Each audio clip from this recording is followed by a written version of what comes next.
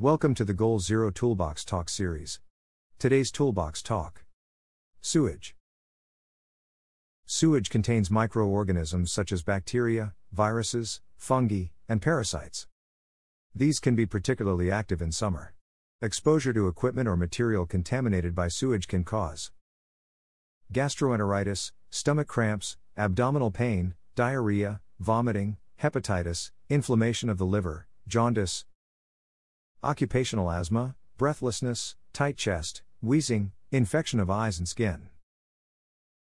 Sewage commonly infects workers by hand to mouth contact during eating, drinking, and smoking or by wiping the face with contaminated hands. Skin contact through cuts, scratches, or penetrating wounds.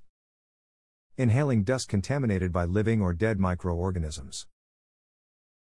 Because there are so many ways that sewage can attack the human body, the following controls must be used. Wear the personal protective equipment, PPE, and clothing provided by your employer, such as waterproof gloves and coveralls, rubber boots, safety goggles, face shields, and N95 respirator.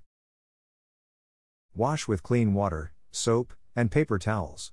Shower for heavy contamination.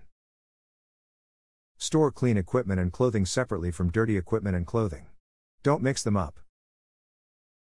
Use the designated clean area for eating and smoking.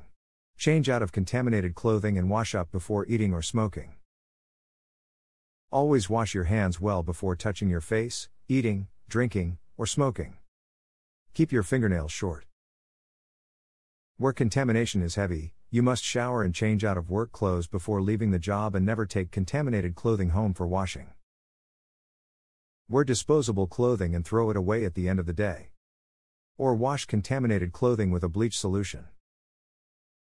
Don't forget to clean your work tools and the bottom of your work boots after exposure. Get shots or boosters for polio, tetanus, diphtheria, typhoid fever, and hepatitis. If sewage gets in your eyes, flush the eyes immediately with clean water. Keep open cuts, sores, and scrapes well covered with dry, Clean bandages. Restrict access to areas where sewage may be present and put up signs to warn workers about the hazard.